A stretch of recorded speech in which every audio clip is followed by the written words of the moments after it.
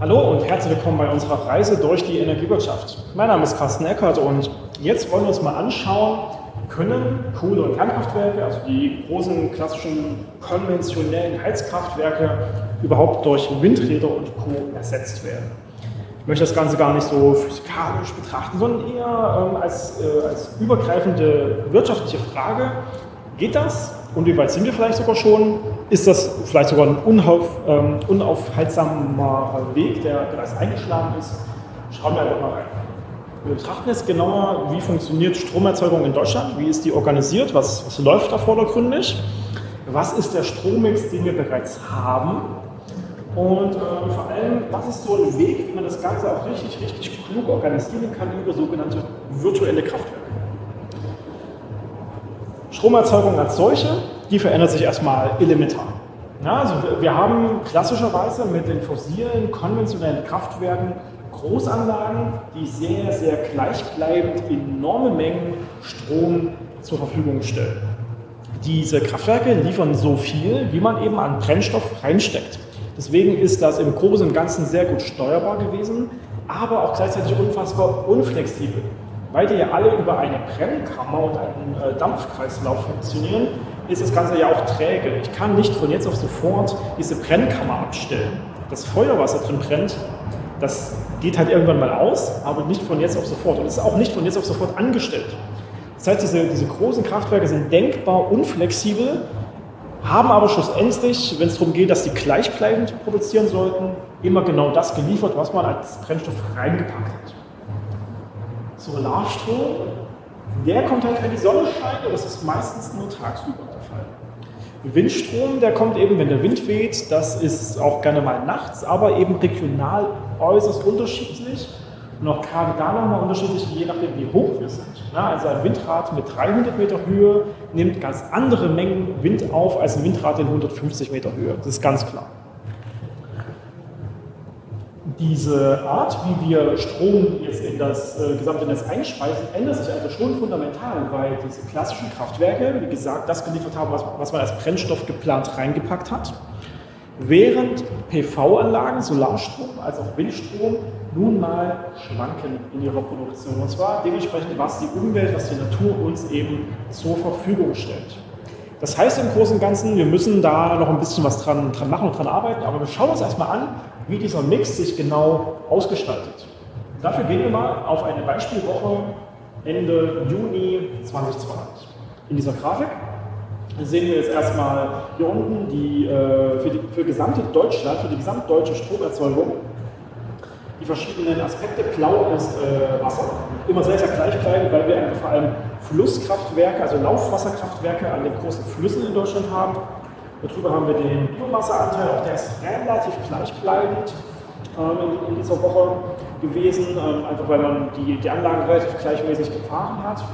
Äh, wir haben darüber den, den Kernkraftanteil in Rot, wo man schon sehen kann, der ist nur in etwa so groß wie der Biomasseanteil. Die Kernkraft ist in Deutschland schon deutlich weniger geworden. Wir haben Kohle in äh, Braun und in, äh, in, Steinkohle unterschieden. Und das Orangene, was man hier schon angedeutet sieht, das ist äh, Gas. Und wir sehen schon, das ist alles relativ gleichbleibend, weil man eben genau diese großen Kraftwerke auch relativ gleichbleibend eben ähm, fahren lässt. Jetzt gehen wir doch mal auf die Erneuerbaren noch extra ein. Und zwar auf die hauptsächlich äh, entscheidenden Erneuerbaren. Wind, das ist so dieses Pastellgrüne, und äh, Sonne sind diese gelben Buckel. Ist natürlich ganz klar, die Sonne scheint eben tagsüber, mittags, nachts nicht. Und Wind ist eben auch an manchen Tagen mal sehr stark vorhanden und an anderen Tagen eher gering vorhanden. Und jetzt kann man hier schon dran sehr, sehr gut sehen, dass diese Kapazitäten zu unterschiedlichen Zeitpunkten unterschiedlich vorhanden sind. Während die klassischen Kraftwerke sehr, sehr gleichbleibend produzieren, ist es gerade, wenn man sich Photovoltaik anschaut, doch extrem schwankend. Gleichzeitig ist aber auch der Stromverbrauch in Deutschland extrem schwankend. Wir haben natürlich nachts deutlich weniger Verbrauch als tagsüber. Nachts schlafen die meisten Leute und noch viele Industrieprozesse und gewerbliche Prozesse laufen nachts ja einfach nicht. Deswegen ist es schon okay, dass wir tagsüber die Sonnenenergie haben und nachts eben nicht. Das ist nicht ganz, ganz tragisch. Wir müssen aber, wenn wir langfristig ein sauberes, versorgungssicheres System haben wollen, diese Kapazitäten von Atomstrom und Kohlestrom und Gas definitiv ersetzen durch noch deutlich höhere Kapazitäten aus erneuerbaren Energien. Das heißt, der Zubau von Windenergie muss also noch deutlich mehr werden oder der Zubau von Solarenergie muss noch deutlich mehr werden, damit wir das tagsüber und wenn der Wind da ist, einspeichern können, um es dann nachts oder wenn der Wind weg ist, auch verbrauchen zu können. Damit schaffen wir es einerseits, diese Kapazitäten hier komplett zu ersetzen und gleichzeitig noch über dies einzuspeichern, was wir dann brauchen, wenn die Quellen etwas versiegen.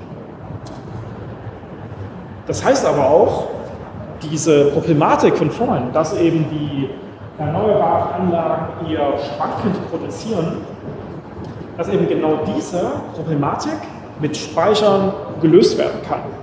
Wir schaffen es eben durch das Einspeichern in Akkumulatoren, in die Umwandlung so zum Beispiel Power-to-Gas-Prozesse äh, und so weiter, damit eben diese Kapazität, die Energiekapazität doch noch für die Zeit aufzuspeichern, wenn wir sie eben wirklich brauchen.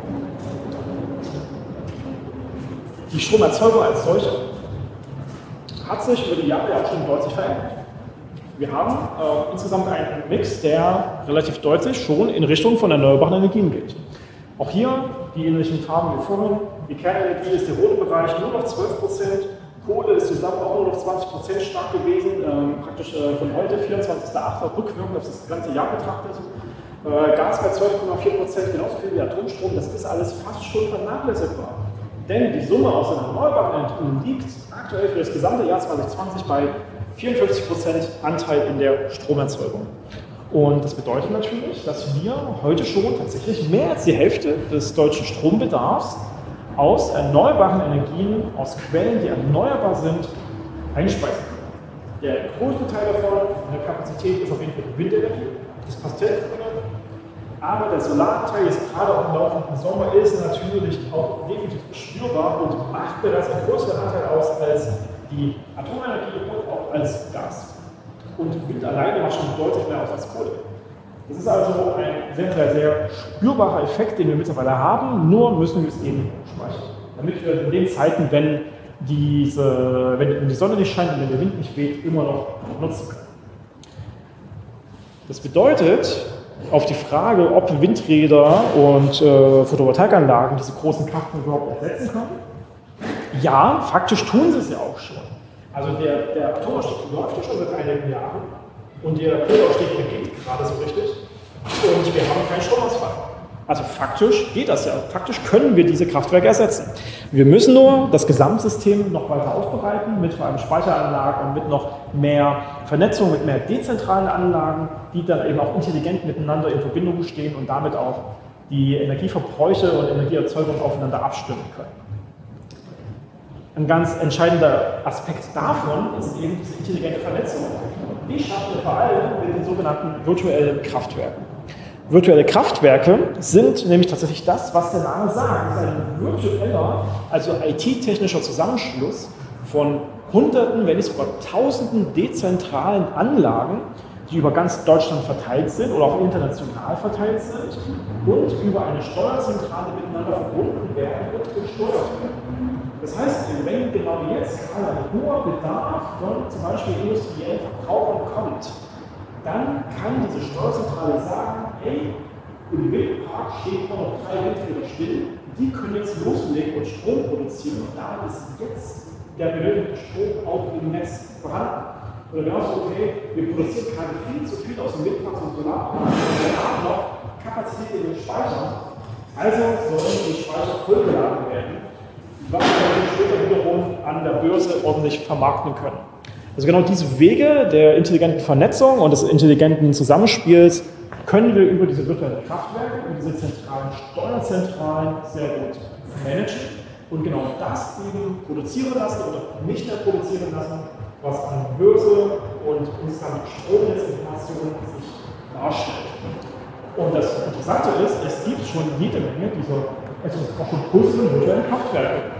Das äh, größte in Deutschland sind Netzkraftwerke, die halt tatsächlich fast 9000 dezentrale Anlagen miteinander vernetzt haben.